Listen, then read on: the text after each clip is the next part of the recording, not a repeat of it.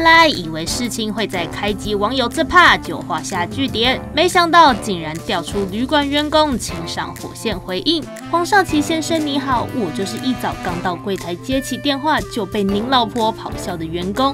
因为我们是防疫酒店，为减少与旅客的接触，本身就有规定送物品的时间，不是随时说上楼就能送上楼，这点在订房前有告知。”请不要一开场就把自己讲的这么委屈的情绪勒索。今天早上没能第一时间接电话，是因为同仁全副武装的在地下室接待正要入住的防疫旅客。谢谢您这么随意的公审我的工作场合，我没有做好应对，让您老婆不舒服是我个人的问题，我和您和您的老婆道歉。眼看风向又要转弯的哪个 moment，黄少奇有再次回应。这就是贵饭店的服务水准，咆哮没有的事情。你们的服务态度不好是事实。我发的文章字字句句哪里在情绪勒索了？贵饭店真的让人领教了。